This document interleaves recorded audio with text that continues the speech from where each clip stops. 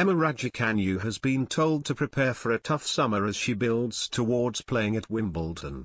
Raducanu, 19, made her Grand Slam debut at SW19 last year, upsetting the odds to reach the fourth round before she retired from her match with Ajla Tomljanovic, citing breathing difficulties.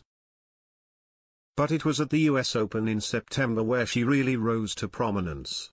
The 19-year-old embarked on her very own fairy tale of New York in Flushing Meadows, coming through qualifying to then reach the final without even losing a set.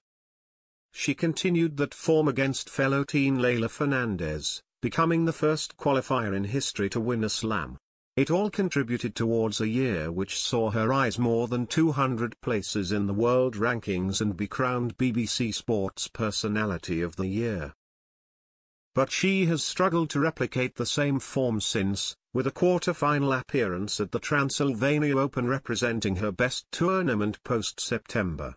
Regardless, she'll head into Wimbledon in late June as one of the star attractions. And now LTA CEO Scott Lloyd has warned her of the extra scrutiny that she'll be subjected to at the grass court tournament in end June and July. It's going to be in some ways a very tough year, a tough summer for her, in terms of her profile, he said, via The Sun. It's only a year ago she was sitting her A-levels. Emma needs to try to find what works for her in terms of how she navigates the tour and the traveling, domestic tournaments or internationally. It's about getting into a pattern of where she wants to play in the lead up to a Grand Slam. She doesn't know that yet. She has a long way to go in terms of starting to find herself and learn what works for her to deliver optimal performances.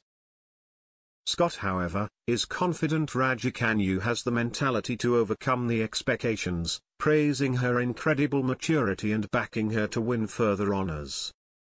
It's a development period, it's a learning experience, but she's in a good place. She knows what she wants to try and do, he added. She is an incredible tennis player. I'm sure she will go on to many more successes in the years to come.